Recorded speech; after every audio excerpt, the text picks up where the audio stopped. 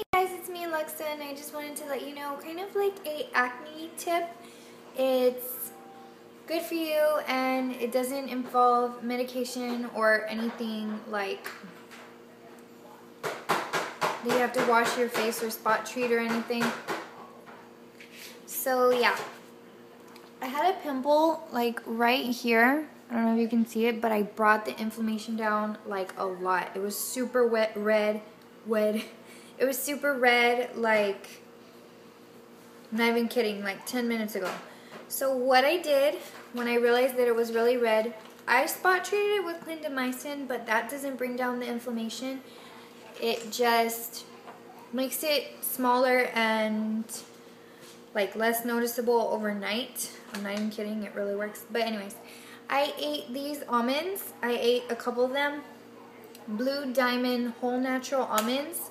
I noticed that this brings down inflammation and acne.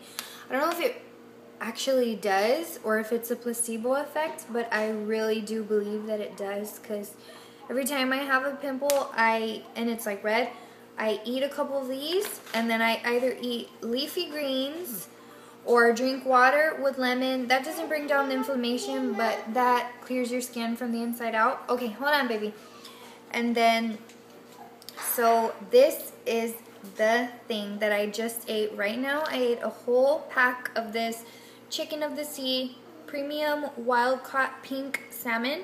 Make sure it's skinless and boneless. I don't know if they have any other ones that have bone. I hope not. But yeah, so I ate this. I ate the whole pack and it brought down the inflammation. I'm not even kidding, guys you can still see it there, but it's not as red. It was like so red, and it was like the whole, like, it was like really red. It was angry, but I soothed it, and I cannot believe that just eating good foods like salmon and almonds and leafy greens, probably carrots, but I don't know if it works for inflammation. I read somewhere that flax seeds help with inflammation as well, or I saw it on TV.